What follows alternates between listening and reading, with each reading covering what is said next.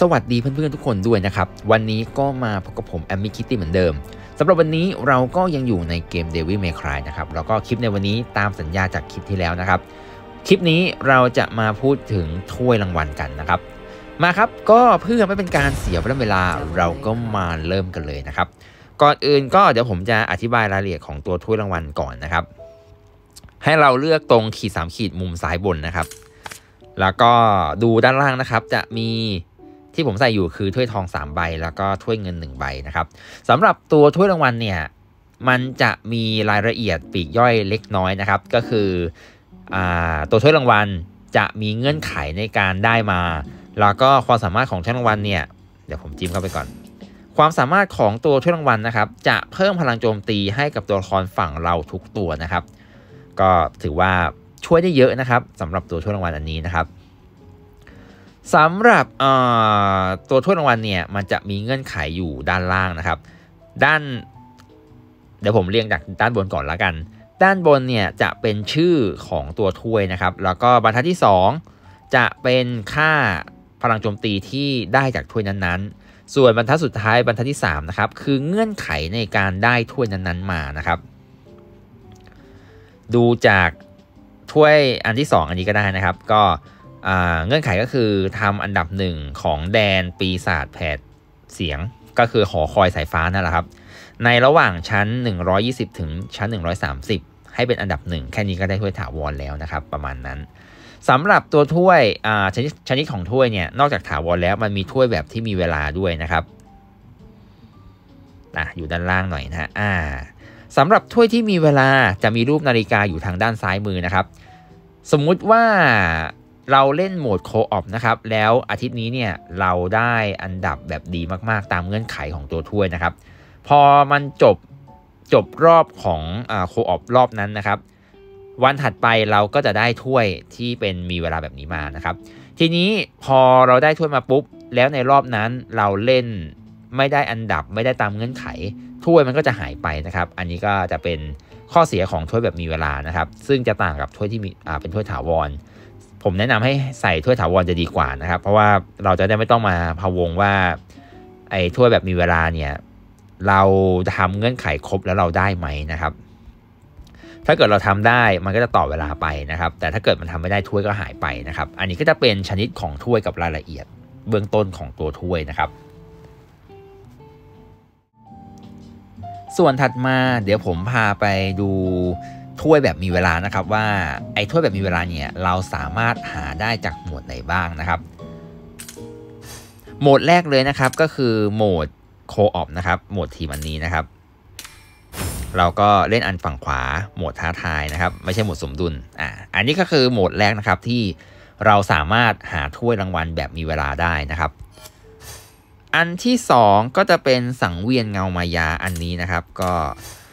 ต้องทำตามเงื่อนไข ให้ได้ตามที่ถ้วยกำหนดนะครับ ซึ่งแน่นอนว่าส่วนมากมันก็จะเป็นเรื่องการทำอันดับให้ได้สูงๆใน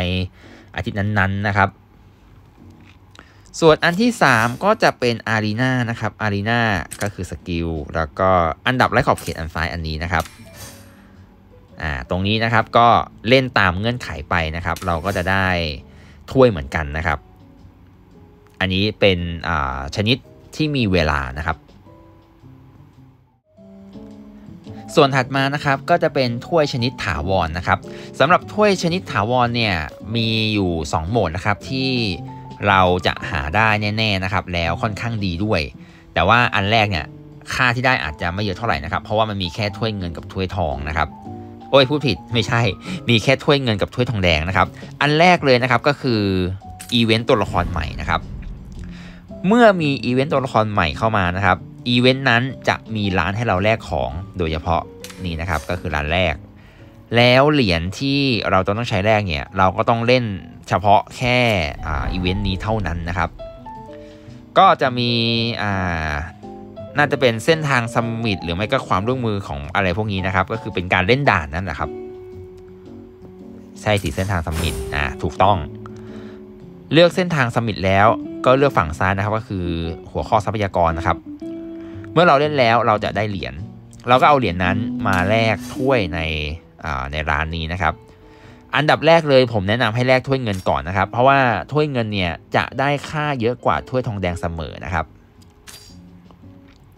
ถึงแม้ว่าจะใช้เหรียญเยอะกว่า แต่ว่ายังไงผมก็แนะนำให้แลกถ้วยเงินก่อน แล้วถ้วยทองแดงค่อยเก็บตามหลังนะครับ อันนี้คืออันแรกนะครับ ส่วนอันที่ 2 จะเป็นโหมดท้าทายสุดขั้วหรือเรียกว่าหอคอยนั่นเองนะครับ เข้าที่ท้าทายแล้วก็นี่นะครับท้าทายสุดขั้วอันนี้นะครับ อันนี้ผมแนะนำเลยครับว่า ถ้วยรางวัลที่ได้ค่าเยอะสุด แล้วใส่และดีสุดเนี่ยคือถ้วยที่หาจากท้าทายสุดขั้วเป็นอันดับแรกเลยนะครับ เดี๋ยวผมพามาดูถ้วยของผมก่อนละกันนะ ถ้วยถ้วยทอง 3 ใบนี้นะครับ คือถ้วยทองที่ผมทำอันดับ 1 ในแต่ละ 10 ชั้นได้นะครับ เห็นไหมครับว่าค่าพลังโจมตีที่ได้เนี่ยตามสุดของผมคือ 72 73 74 นะครับ ส่วนไอ้ถ้วยถ้วยเงินบนสุดที่ชื่อว่าเปิดโลกอนาคตเนี่ย ผมได้จากการสะสมแต้มทางด้านซ้ายมือนะครับ พอสะสมครบ 3,000 แต้มปุ๊บ มันก็จะได้ถ้วยนี้นะครับ เดี๋ยวเรากลับไปดูที่โหมดหอคอยเหมือนเดิม สิ่งสำคัญของหอคอยตอนนี้นะครับก็คือ เราจะต้องเช็คก่อนนะครับว่าในเซิร์ฟเวอร์ของเรานั้น หอคอยชั้นไหนที่ยังมีคนไปไม่ถึงชั้น 150 นะครับ เพราะว่าเราจำเป็นที่จะต้องเอาอันดับหนึ่งเท่านั้นนะครับ อย่างของผมเนี่ยอ่าอะเอาเอาห้องของผมก่อนละกัน ตอนที่ผมมาเล่นเซิร์ฟนี้นะครับ ไอตัวหอสายฟ้าเนี่ย มันยังไม่มีใครเล่นไปถึง ตอนนั้นถึงร้อยเท่าไหร่เนี่ย อะ เราดูตรงคำว่าหอเขตอยู่ตรงนี้นะครับ แล้วก็ย้อนไป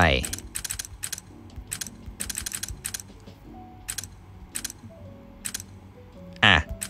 ตอนที่ผมเล่นเนี่ย ก็จะมีเพื่อนๆนะครับ เล่นคาอยู่ที่สูงสุดคือชั้น 70 อันนี้นะครับ และทีนี้เนี่ยหลังจากที่ผมได้หลอดสายฟ้าเป็น 2S มาปุ๊บ ผมก็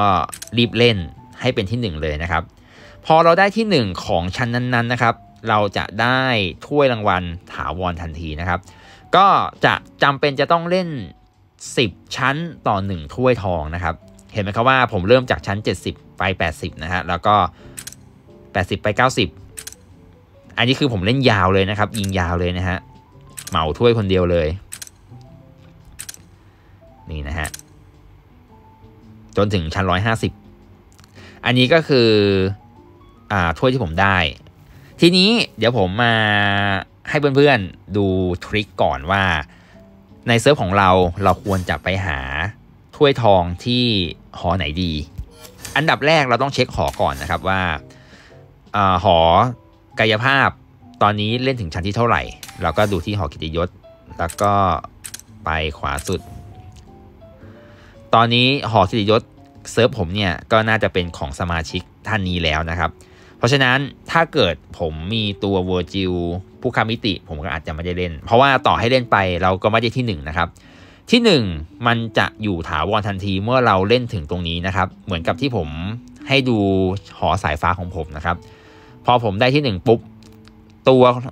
ตัวชื่อของผมเนี่ยมันจะมันจะอยู่อันดับหนึ่งถาวรทันทีนะครับ ก็เช็คแบบนี้เอานะครับอะอันนี้ก็หอกายภาพไปแล้วนะครับ น่าจะครบ 150 ชั้นแล้วนะครับสำหรับสมาชิกคนเมื่อกี้นะครับ อันนี้ต่อมาเป็นหอไฟก็รัวๆโอ้คนเดิมเลยนะครับ ผมก็คิดว่าสมาชิกท่านนี้น่าจะไปถึงชั้น 150 แล้วเหมือนเดิมนะครับ ดูจากการที่มาถึงชั้น 120 เอ้ยยังสิ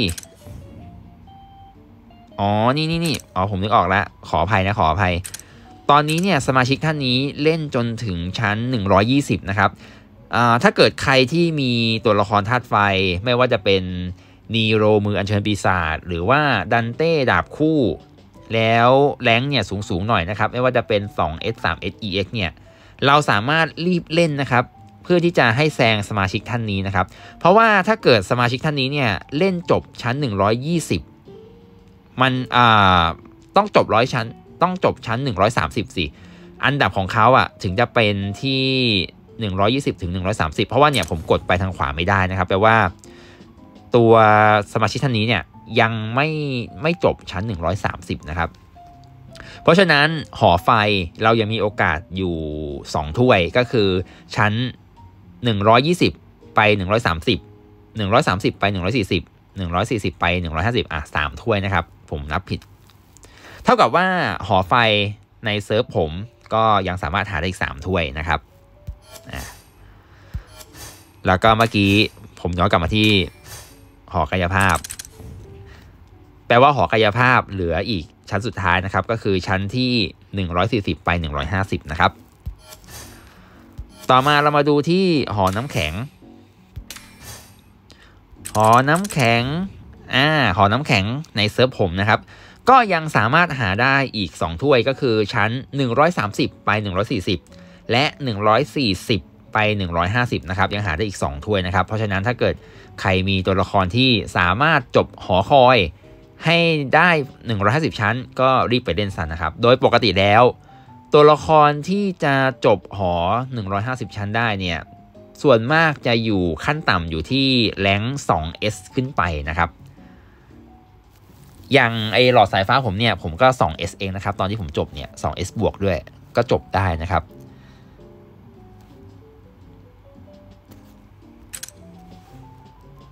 ประมาณนี้นะครับสำหรับคำแนะนำในการหาถ้วยถ้วยทองแบบถาวรนนะครับ ทีนี้เนี่ยถ้าเกิดในเซิร์ฟของแต่ละคนนะครับ ทุกทุกหอเลยไม่ว่าจะเป็นกายภาพไฟน้ำแข็งสายฟ้า มีคนเล่นจนครบ 150 ชั้นเหมือนผมแล้ว อะ นี่นะครับ เอาผมเป็นตัวอย่างก็ได้ พอครบ 150 ชั้นแล้วนะครับ แน่นอนว่าตอนนี้มันเขียนว่าถึงชั้นสูงสุดแล้วอยู่มุมล่างซ้ายนะครับ ถ้าเกิดเราตั้งใจที่จะเอาหอไหนนะครับ เราก็ไปปั้นตัวละครของหอนั้น อย่างสมมุติว่า เพื่อนๆตั้งใจว่าจะเอาหอสายฟ้า ทีนี้พอเพื่อนๆ บิวตัวหอสายอ่าบิวตัวหลอดสายฟ้ามาแล้วนะครับ ก็คือพร้อมที่จะเล่นเกินชั้น 150 เนี่ย เพื่อนๆรออัปเดตนะครับ เพราะว่าไอหออันนี้เนี่ยเดี๋ยวมันจะอัปเดตจาก 150 ชั้นเป็น 200 ชั้นนะครับ พอตัวเกมอัปเดตปุ๊บ ตัวละครที่เราบิวมารออยู่แล้วเนี่ย เราก็รีบไปเล่นตั้งแต่ชั้น 151 ไปจนถึง 160 หรือไม่ก็ยิงยาวไปจนถึงชั้น 200 ถ้าเกิดเราจบไหวนะครับ เพราะว่ายิ่งชั้นสูงค่าพลังโจมตีที่เราได้เนี่ยมันก็จะเยอะตามนะครับ เพราะฉะนั้นถ้าเราตั้งใจที่จะเอาหอธาตุไหนก็ตาม พอมันอัพเป็นชั้น 200 ปุ๊บ รีบไปเล่นทันทีนะครับ แน่นอนว่าเซิร์ฟผมผมก็เตรียมตัวไว้แล้วนะครับ ก็คือตอนนี้หลอดสายฟ้าผมเป็น EX แล้ว ดาบสีดาวด้วยรูนเต็ม พออัพปุ๊บ ผมจะรีบเล่นให้ถึง 200 แน่นอนนะครับ เพื่อที่จะเอาถ้วยทองถาวรในอันดับหนึ่งนั่นเองนะครับ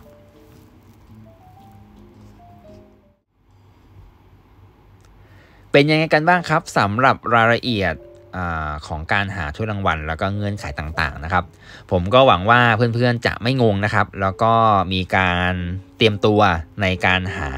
ถ้วยรางวัลตามที่เราต้องการนะครับ ซึ่งแน่นอนว่าคลิปนี้จะยาวก็ยาวแค่ตอนอธิบายเรื่องถ้วยของชนิดถาวรแค่นั้นเอ่ยนะครับ เหมือนเดิมถ้าเกิดเพื่อนๆนะครับยังมีตรงไหนที่ยังสงสัยอยู่ก็สามารถคอมเมนต์ถามไว้ได้เลยนะครับเดี๋ยวผมกับเพื่อนๆที่มีความรู้เนี่ยจะมาช่วยตอบให้นะครับแล้วก็เช่นเดิมเพื่อนๆก็สามารถให้กำลังใจผมง่ายๆนะครับด้วยการกดไลค์นะครับกด subscribe แล้วก็อย่าลืมกดกระดิ่งนะครับเวลาผมอัพคลิปใหม่ๆเนี่ยมันจะได้แจ้งเตือนเพื่อนๆนะครับแล้วก็การให้กำลังใจง่ายๆ เพิ่มขึ้นอีกหนึ่งช่องทาง เพียงแค่สมัครสมาชิกช่อง a m ม Kitty เพียงเดือนละ 50 บาทเท่านั้นนะครับ สำหรับคลิปรายละเอียดถ้วยรางวัลทั้งหมดก็มีเพียงเท่านี้นะครับ ขอบคุณทุกคนมากครับ สวัสดีครับ